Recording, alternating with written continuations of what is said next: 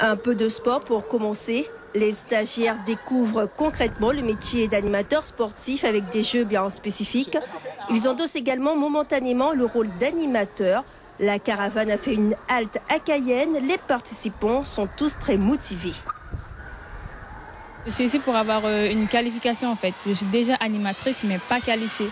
On m'a formée, je voudrais avoir une vraie qualification. C'est ma passion, le sport.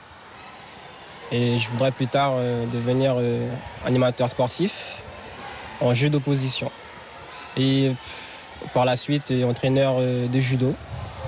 Donc voilà. Voilà pourquoi je suis venu aujourd'hui à la caravane. Après le sport, les stagiaires découvrent les particularités du métier d'animateur sportif. Il faut savoir communiquer, être capable de trouver des financements. Cette caravane itinérante propose une formation de plus de 100 heures pour devenir un animateur compétent. Pour la première fois, elle sillonnera toute la Guyane. On sait que le sport c'est important pour la santé, pour le bien-être, ça fait partie de l'hygiène, doit faire partie de l'hygiène de vie. On sait qu'il y a un besoin d'encadrement sur toutes les communes. Hein. On, veut être bien partout.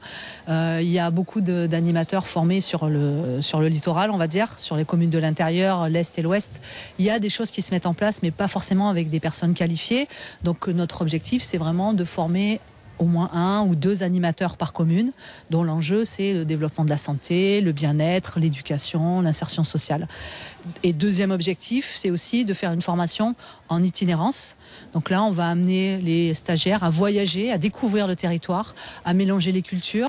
La caravane sera sur les routes jusqu'au mois d'août pour recruter ses futurs animateurs. La formation commencera au mois de septembre. Elle sera dispensée à Cayenne, mais également à Awala Yalimapo.